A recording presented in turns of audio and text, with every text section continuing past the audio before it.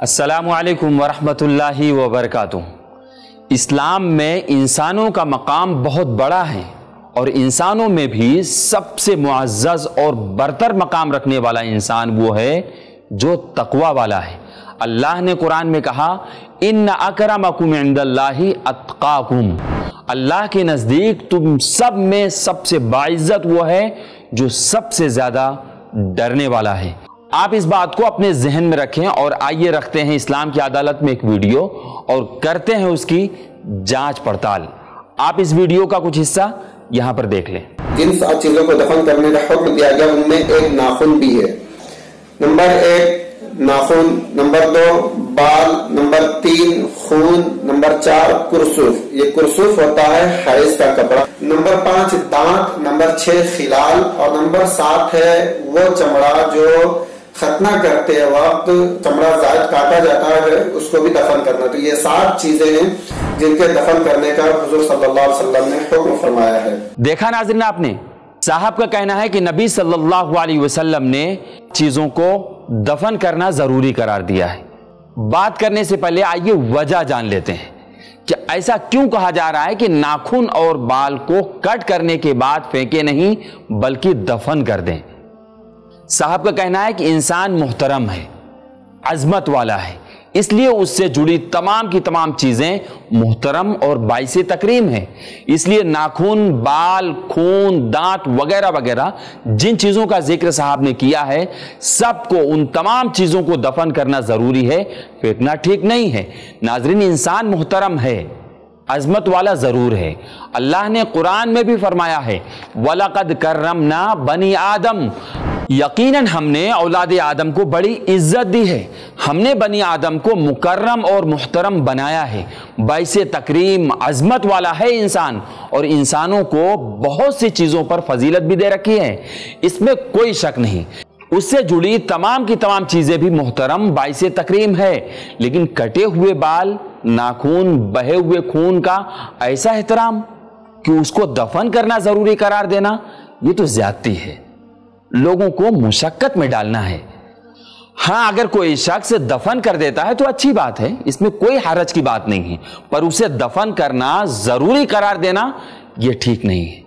शेख इब्ने बाज रहमउल्ला से किसी ने कटे हुए बाल और नाखून को दफन करने के सिलसिले में पूछा तो आपने कहा, दफन करना अच्छी बात है, लेकिन अगर कोई दफन नहीं करता है तो वह गुनहगार नहीं होगा। दफन करना ज़रूरी नहीं है, दफन करे या फेंक दे, इसमें कोई हरज की बात नहीं है। अब आइए इस हदीस की बात करते हैं जो साहब ने दलील के तौर पर दी है। नाजरन, आप वीडियो यहाँ पर वापस से देख लें। जिन सात चीज़ों को दफन करने का हुक्म दिया गया, उनमें एक नाखून भी है। नंबर एक, नाखून। नंबर दो, बाल। नंबर तीन, खून। नंबर चार, कुरसुफ। ये कुरसुफ होता है हैज़ का कपड़ा। नंबर पाँच, दांत। नंबर छह, खिलाल। और नंबर सात है वो चमड़ा जो खतना करते वक्त चमड़ा जायद काटा जाता है, उसको भी दफन करना। तो ये सात चीज़ें हैं जिनके दफन करने का हजूर वसल्लम ने हुक्म फरमाया है। देखा नाजिन आपने? हमने तहकीक की तो हमें यह हदीस मिली मोजमुल कबीर लित तबरानी और शोबुल ईमान में। तहकीक से पता चला कि यह हदीस सनत के एतबार से कमज़ोर है। यानी नबी सल्लल्लाहु अलैहि वसल्लम की जानिब जो बात मंसूब की गई है, नबी सल्लल्लाहु अलैहि वसल्लम ने ऐसा फरमाया, ये बात सही नहीं है, क्योंकि सनदन ये रवायत ज़यीफ़ है। शेख अलबानी रहमउल्लाह ने इस रवायत को ज़यीफुल जामे, हदीस नंबर 4525 और सिलसिलातुल हदीस ज़यीफ़ा हदीस नंबर 3263 में ज़िक्र किया है और बताया है कि यह रवायत ज़यीफ़ है। काबिल इस्तदलाल नहीं है।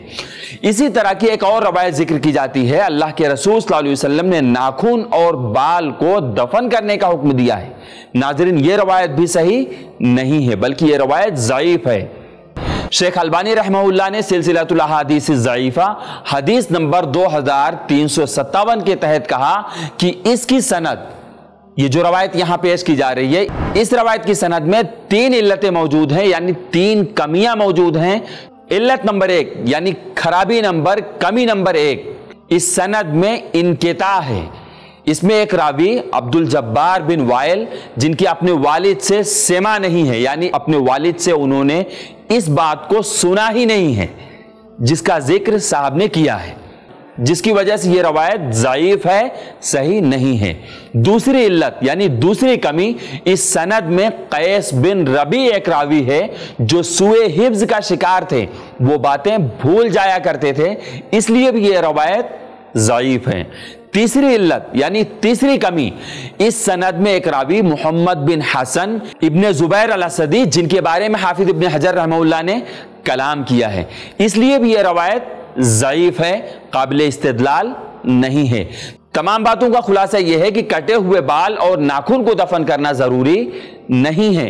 फेंकने की जगह पर फेंका जा सकता है। और जो लोग दफन करने की हदीस पेश करते हैं, वो सब की सब ज़यीफ और मौजू हैं, जिससे पता चलता है कि दफन करने वाली बात नबी सल्लल्लाहु अलैहि वसल्लम की बात नहीं है। नाजरीन, इस वीडियो को इस्लाम की अदालत में रखने के बाद पता चला कि साहब ने जो कटे हुए बाल और नाखून को दफन करने वाली बात कही है, वो सही नहीं है, बल्कि हदीस ज़यीफ है जो काबिल हुज्जत नहीं है, इसलिए यह बात नहीं ली जा सकती है। नाजरीन, कटे हुए बाल और नाखून को दफन करना अच्छी बात है, लेकिन ज़रूरी नहीं है। अगर किसी ने कटे हुए बाल और नाखून फेंक दिया तो वो गुनहगार नहीं होगा, क्योंकि फेंकने में कोई हरज नहीं है।